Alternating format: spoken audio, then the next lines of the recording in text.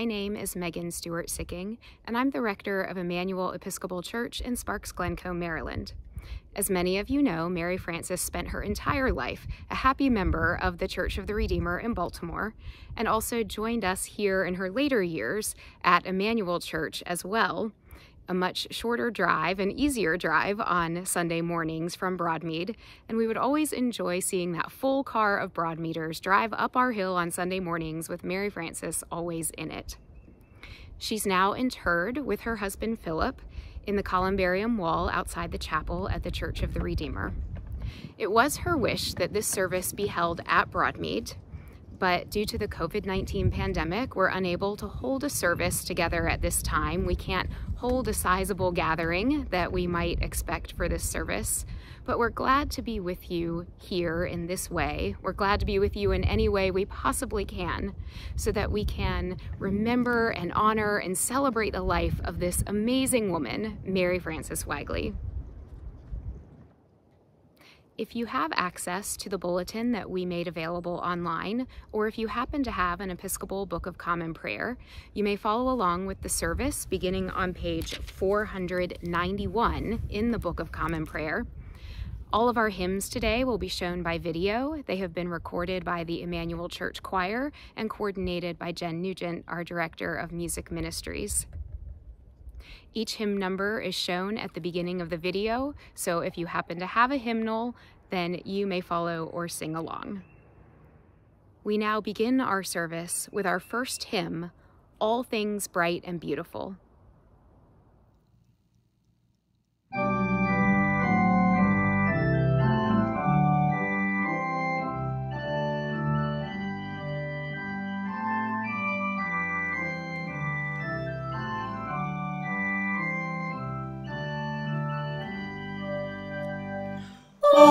Things bright and beautiful, all creatures great and small, all things wise and wonderful, the Lord God made them all. Each little flower that opens, each little bird that sings, He made their glowing colors, He made their tiny wings. All things bright and beautiful, all creatures great and small. All things wise and wonderful, the Lord God made them all. The purple-headed mountain, the river running the sunset and the morning that brightens up the sky. All things bright and beautiful, all creatures great and small. All things wise and wonderful, the Lord God made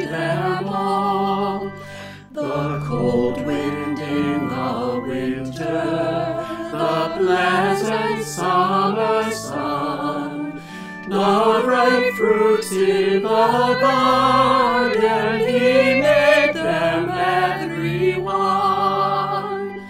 All things bright and beautiful, all creatures great and small. All things wise and wonderful, the Lord God made them all. He gave eyes to see them, and lips that we might tell. How great is God Almighty, who has made all things well. All things bright and beautiful, all creatures great and small. All things wise and wonderful, the Lord God made them all.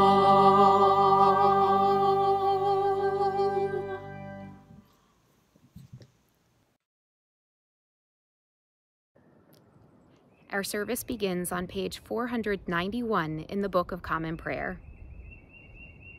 I am resurrection and I am life, says the Lord. Whoever has faith in me shall have life, even though he die. And everyone who has life and has committed himself to me in faith shall not die forever.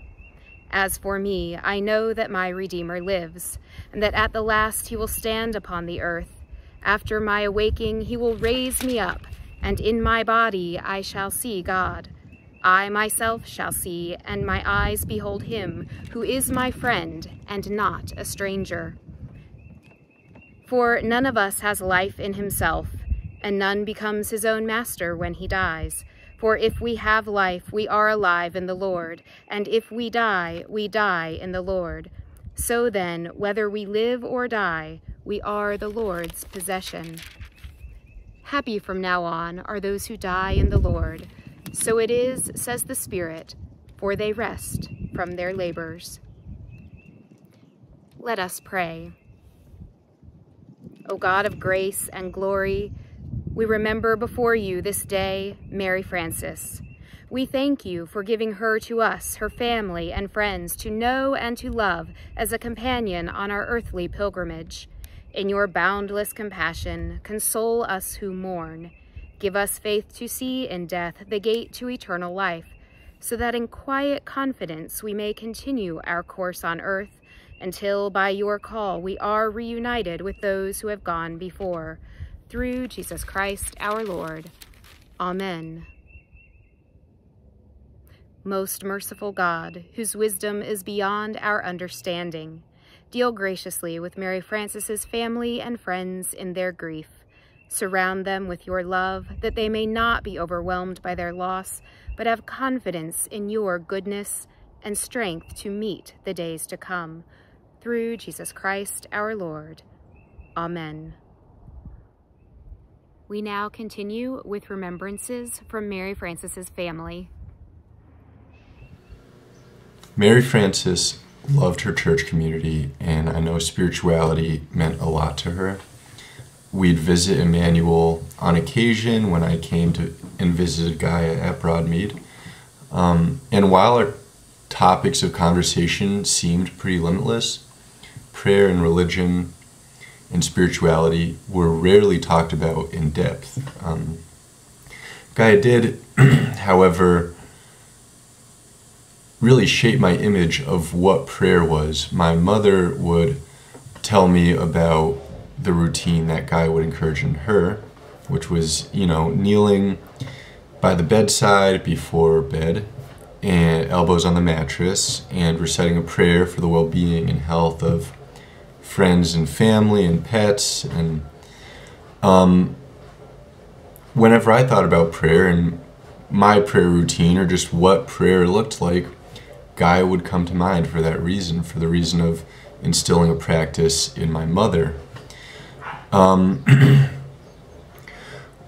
what Gaia and I did talk about and what we really did encourage within one another was paying attention and observing and inquiring um, she was always certain to know the trees and the plants and the birds in her surrounding area, and um, we fed off each other's inherent knack for observation and inquiry and curiosity. Um, and that's where our relationship really, really thrived and grew a lot. Um, it wasn't until after Gaia's death that I read her list of commandments, and number seven is very simple, and it says pay attention.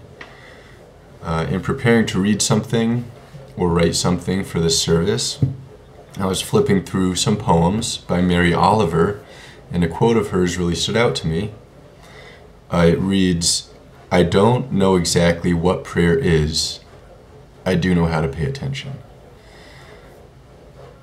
And it turns out that Gaia was teaching me about prayer through encouraging attention and observation and curiosity within me all along. We will be reading I Wandered Lonely as a Cloud by William Wordsworth in honor of our grandmother, who was an avid gardener and would recite this poem every spring. 'Tis a lonely night, and the moon is full, I wandered, lonely as a cloud that floats on high over vales and hills. When all at once I saw a crowd, a host of golden daffodils. Beside the lake, beneath the trees, fluttering and dancing in the breeze. Continuous as the stars that shine and twinkle on the Milky Way, they stretched in never-ending line along the margin of a bay. Ten thousand saw I at a glance, tossing their heads in a sprightly dance. The waves beside them danced, but they outdid the sparkly waves in glee. A poet could not but be gay in such jocund company. I gazed and gazed, but with little thought, for what wealth the show to me had brought. For oft, when on my couch I lie, in vacant or in pensive mood, they flash upon that inward eye, which is the bliss of solitude. And then my heart with pleasure fills and dances with the daffodils. Meph, I'm sitting here on Easter Sunday in Palo Pinto County, and I'm thinking of you. This is where you, you spent part of your honeymoon. I talk to you every day. I often ask, what would Mary Frances do in this situation? I absolutely love your loved your passion for life. I loved your passion for learning, for birding, for gardening, for always identifying a tree or a wildflower. It was so special. But above all, what I'm most thankful for is your passion for your family.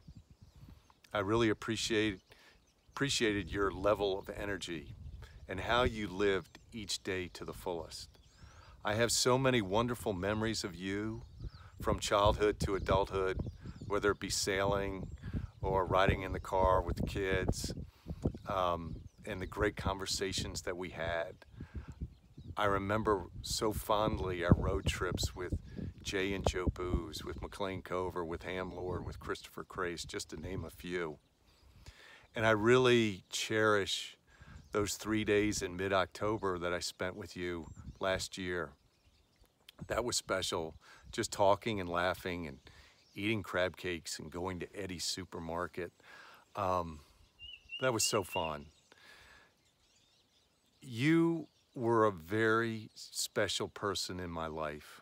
You set such a great example.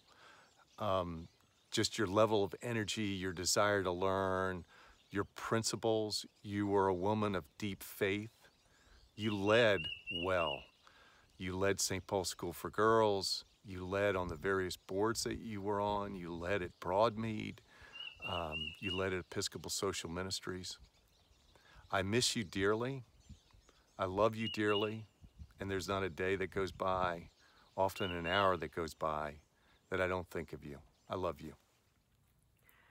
Thank you all for joining us as we honor and celebrate our mother, grandmother, and great-grandmother, Mary Frances.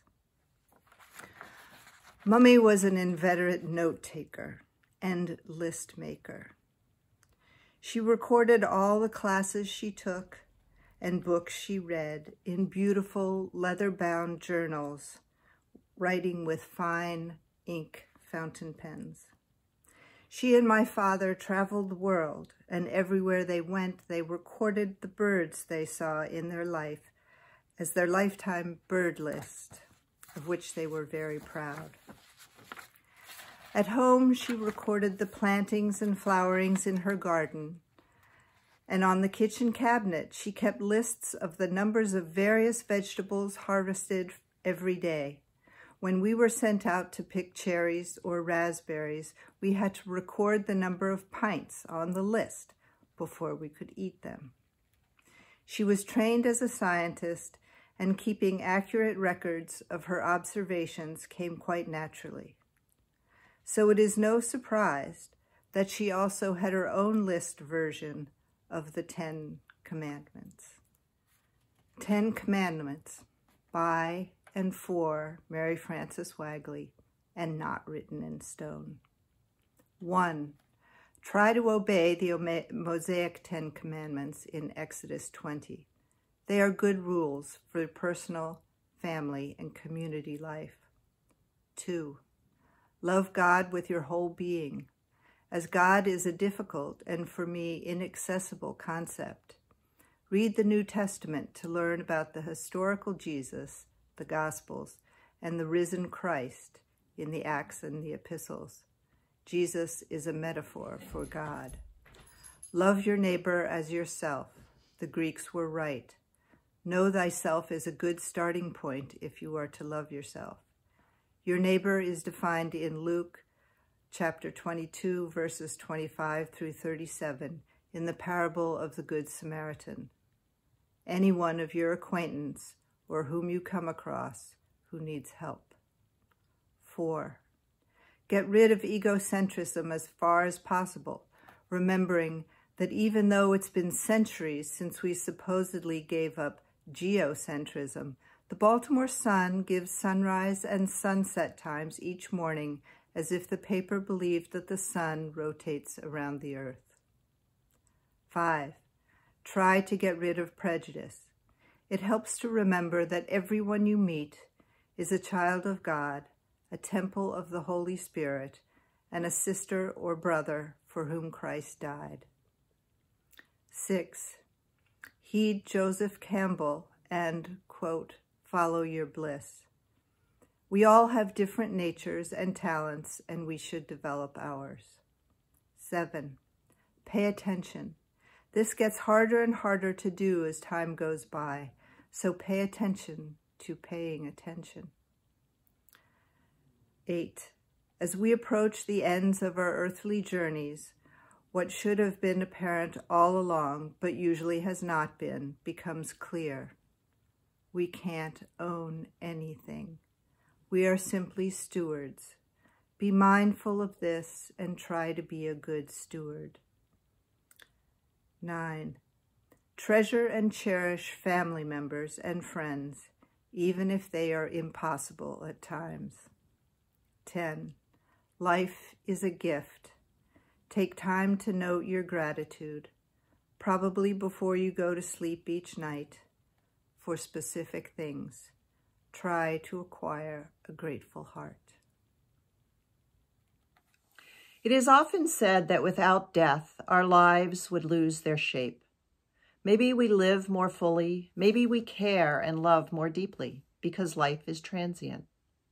I don't know if my mother thought often about death, but I do know, as I'm sure many of you know, that she cared deeply about the shape of her life. Hence, as Annie has shared, she wrote her own Ten Commandments. And she was serious, intentional, and deeply committed to those values. There are two attributes within those commandments that I'd like to reflect on. Mary Frances loved knowledge, from profound wisdom, the realization that we can't own anything really, to little tidbits of information, like a sugar maple's leaves are darker on one side than the other, that combining salt and vinegar to create sodium acetate and hydrogen chloride, that will take an old penny and shine it like new. And of course, the secret to growing larger tomatoes is to pinch off the sucker leaves between the stems. When Jay and I were deep into her storage closet sorting and cleaning, we found a few dozen index card boxes. Usually such boxes hold recipes, not for Mary Frances. On each of these boxes was a plastic label, books read, and then the dates 1947, 54, 60, on and on, many boxes. It wasn't just a list of the books within, it was her analysis of each book and selected quotations that she agreed or disagreed with. Perhaps profound knowledge, perhaps tidbits of information. This was Mary Frances heeding J Joseph Campbell's follow your bliss, one of her commandments. For this analytical, intellectual, always learning orientation was her bliss. This was her shaping her life. There is another characteristic of my mother's that had a profound impact in the shaping of her, of her life. It's called courage. Courage to be the female pioneer who donned a white lab coat and spent hours over a Bunsen burners in the late 1940s, to head to Oxford for her PhD, and then, in a different way, courage to veer from that hard-earned and valued life to marry and begin a family. Dad was very kind and thoughtful, with some specific hopes for their life together. like having her lacy things hang next to his suits in their closet. This was not a welcomed vision for Mary Frances. I asked as a child whenever she lovingly recounted this, What did you say, Mummy? She always answered with characteristic deliberateness and calm, I told your father I don't wear lacy things and I'd have my own closet. To a young, impressionable daughter, her mother was indeed shaping a life that worked for her. And it did indeed take courage. And by the way, our father respectfully and fully altered his vision. I do, do believe that the reality of death helps to shape our lives. I also believe that Mary Frances's courageous shaping of her own life leaves a lasting legacy for all of us. I, and I hope others, especially my children and nieces and nephews, will think often of Mary Frances and her choices.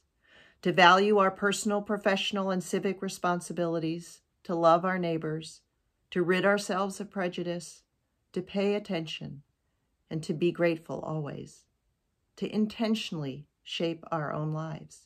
And to do that, to do that well and thoughtfully, takes an enormous amount of courage. So, Mary Frances, Meph, Gaia, Mummy, thank you. Thank you for living your commandments that shaped your remarkable life and that inspire us as we live ours.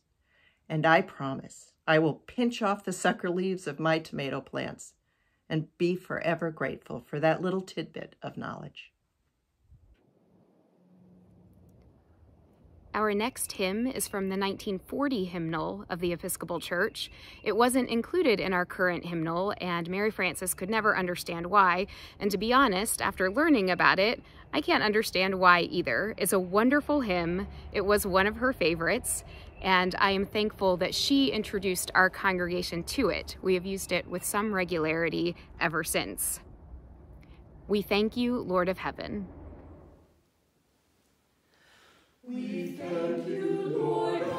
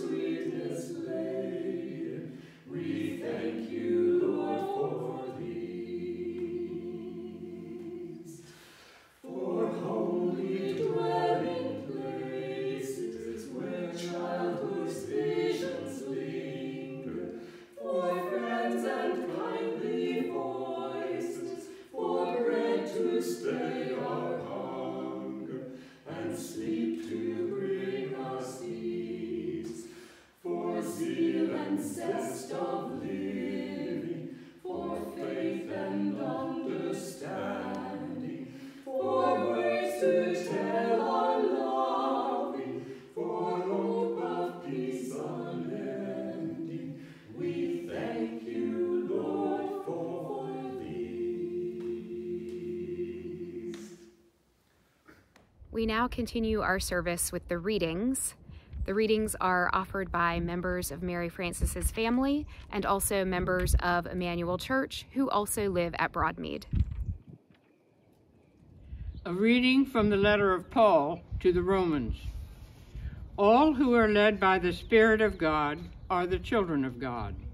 For you did not reveal, receive a spirit of slavery to fall back into fear, but you have received a spirit of adoption When we cry, Abba, Father, it is that very Spirit bearing witness with our spirit that we are children of God. And if children, then heirs, heirs of God, and joint heirs with Christ. If, in fact, we suffer with him, that we may also be glorified with him. I consider that the sufferings of the present time are not worth comparing with the glory about to be revealed to us. For the creation waits with eager longing for the revealing of the children of God. Who is to condemn? It is Christ Jesus who died, yes, who was raised, who is at the right hand of God, and who indeed intercedes for us. Who will separate us from the love of Christ? Will hardship, or distress, or persecution, or famine, or nakedness, or peril, or sword? No, in all these things we are more than conquerors through him who loved us.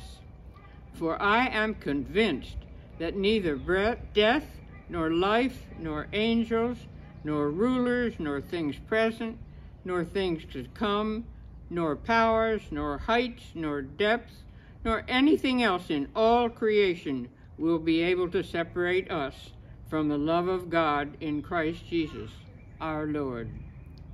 The word of the Lord. This is Psalm 84, read by Philip and Eliza Wagley. How dear to me is your dwelling, O Lord of hosts. My soul has a desire and a longing for the courts of the Lord. My heart and my flesh rejoice in the living God. The sparrow has found her a house, and the swallow a nest where she may lay her young. By the side of your altars, O Lord of hosts, my King and my God. Happy are they who dwell in your house. They will always be praising you. Happy are the people whose strength is in you, whose hearts are set on the pilgrim's ways. Those who go through the desolate valley will find it a place of springs, for the early rains have covered it with pools of water. They will climb from height to height, and the God of gods will reveal himself in Zion. Lord God of hosts, hear my prayers. Hearken, O God of Jacob. Behold our defender, O God, and look upon the face of your anointed. For one day in your courts is better than a thousand in my own room, and to stand at the threshold of the house of my God than to dwell in the tents of the wicked. For the Lord God is both sun and shield. He will give grace and glory. No good thing will the Lord withhold from those who walk with integrity. O Lord of hosts, happy are they who put their trust in you. A reading from the Gospel according to Matthew. Then Jesus began to teach them, saying, Blessed are the poor in spirit, for theirs is the kingdom of heaven. Blessed are those who mourn, for they will be comforted. Blessed are the meek, for they will inherit the earth. Blessed are those who hunger and thirst for righteousness, for they will be filled. Blessed are those are the merciful, for they will receive mercy. Blessed are the poor in heart, for they will see God. Blessed are the peacemakers, for they will be called the children of God. You are the light of the world. A city built on a hill cannot be hidden. No one, after lighting a lamp, puts it under a bushel basket, but on the lampstand, and it gives light to all in the house. In the same way, let your light shine before others, so that they may see your good works and give glory to your Father in heaven. The word of the Lord. Our next hymn is I Sing a Song of the Saints of God. This was also one of Mary Frances's favorites and one that she especially asked to be included in her funeral service when the time came. This version we produced this past All Saints Sunday in November, and it includes not only our choir edited together, but also pictures of young people from our congregation playing out some of the parts, as you will see in just a moment. I was really excited for Mary Frances to get to see this version that we made. Unfortunately, that was the morning that she died. I received word right at the end of the service of her death, so she never got to see this particular version, but I'm glad to share it here with you today and to share one of her favorites. I sing a song of the saints of God.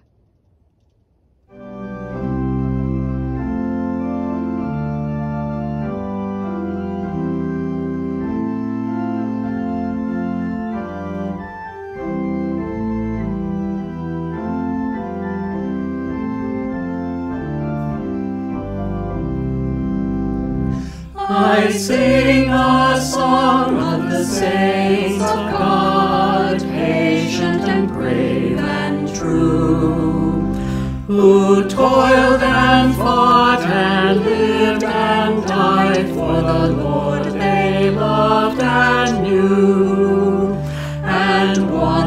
A doctor, and one was a queen, and one was a shepherdess on the green. They were all of them saints of God, and I need God helping to be one too. They all their Lord oh so dear, so dear, and His love made them strong. And they followed the right for Jesus' sake the whole of their good lives long. And one was a soldier, and one was a priest, and one was slain by a fierce wild beast. And there's not any reason, no, not the least, why I shouldn't be They lived not only in ages past, there are hundreds of thousands still.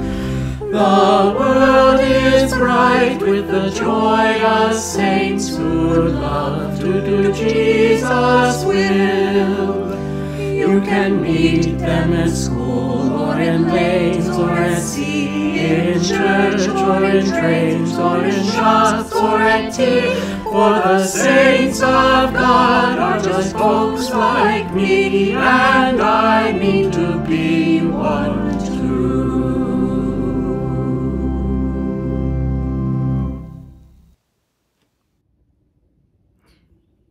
this homily, I want to go back to a few lines from the scriptures we've read, a hymn that we sang, and uh, think about how some of those ideas might carry us forward.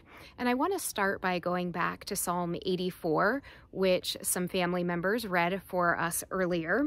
And this is a favorite psalm of mine. It was a favorite psalm of Mary Frances's. And I'm not sure that you can see it in this video, but in this stole that I'm wearing, there are words stitched all the way up and down the length of the stole. And the words are part of a hymn based on Psalm 84. And I told this story to a couple of her children uh, at the interment. And about probably about three years, maybe a little more ago now, I was going to be preaching on Psalm 84 one Sunday morning, and it happened to be a rainy day. And I was disappointed when I looked out into the congregation just before church started, and all the Broadmead seats were empty because sometimes when it was rainy or snowy or the weather was bad, the Broadmeaders would stay home, which makes good sense and is very wise. We don't want to take any unnecessary risks. But I was disappointed that Mary Frances wasn't going to get to hear my sermon on Psalm 84. And then, about five minutes late into the service, Mary Frances comes in and takes her seat. And she was never late. But at the end of the service, she said, I just felt for some reason like I should get myself up and come to church by myself today. If nobody else was coming, I felt like I needed to be there, and now I know why. So she got to hear all about Psalm 84 and be a part of our conversation about it that morning. I suspect that she really loved the line The sparrow has found her a house, and the swallow a nest where she may lay her young. By the side of your altars, O Lord of hosts, my King and my God with her love of nature, I think she must have loved visualizing the birds finding places to put their nests in those walls around the temple. And I actually showed pictures that morning of people who had taken photos of birds' nests in the walls around the temple. So even the sparrows, even the little birds have found a place near God, a place in the walls right around the temple.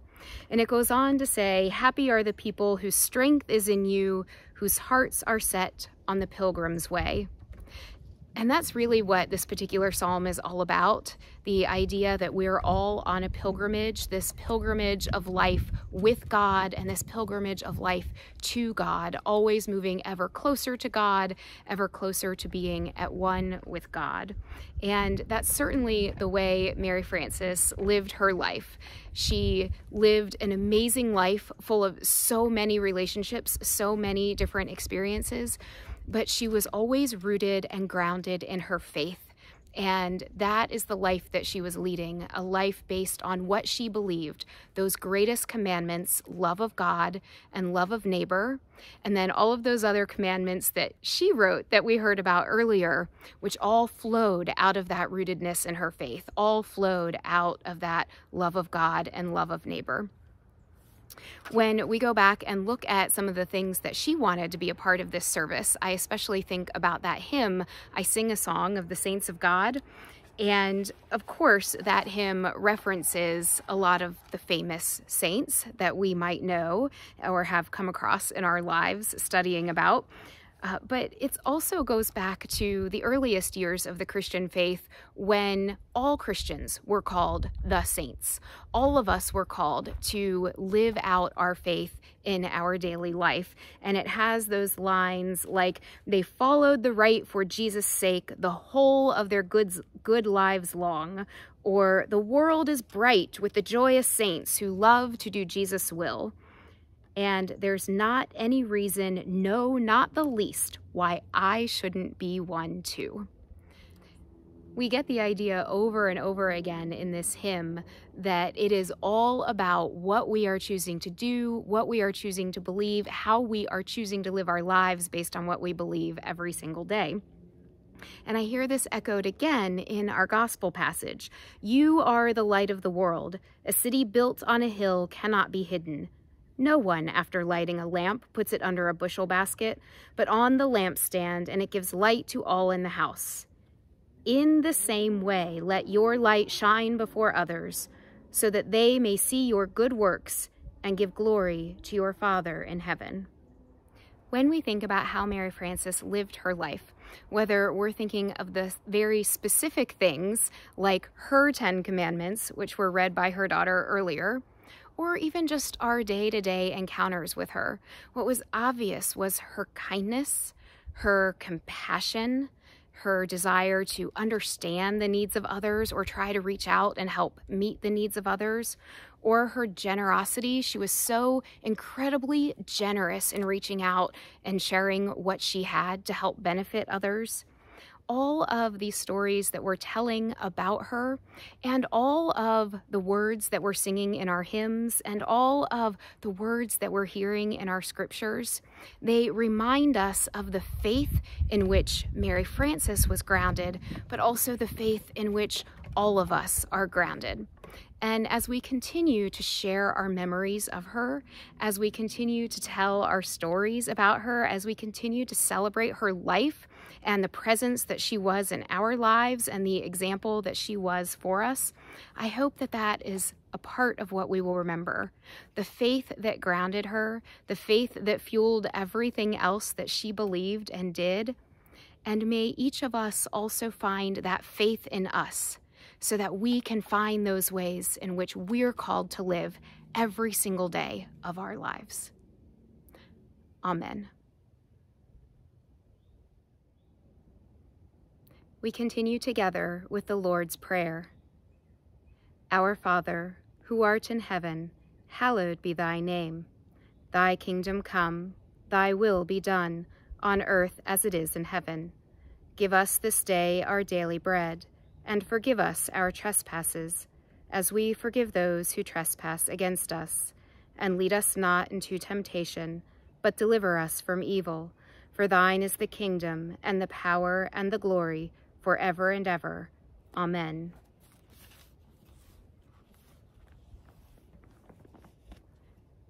We continue with the prayers. For Mary Frances, let us pray to our Lord Jesus Christ, who said, I am resurrection, I am life. Lord, you consoled Martha and Mary in their distress. Draw near to us who mourn for Mary Frances and dry the tears of those who weep. You wept at the grave of Lazarus, your friend, comfort us in our sorrow. You raised the dead to life.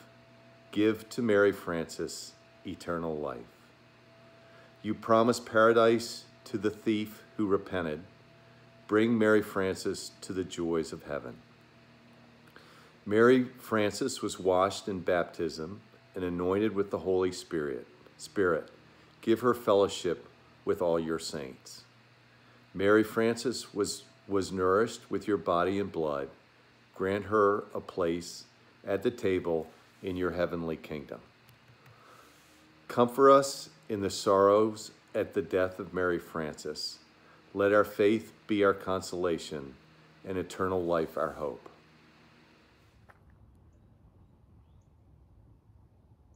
Father of all, we pray to you for all those whom we love but see no longer, especially Mary Frances, Philip, Carol, Caroline, Jimmy, Herman, Elsa, Olga, Kimball, Roswell, J.C., and Mariana.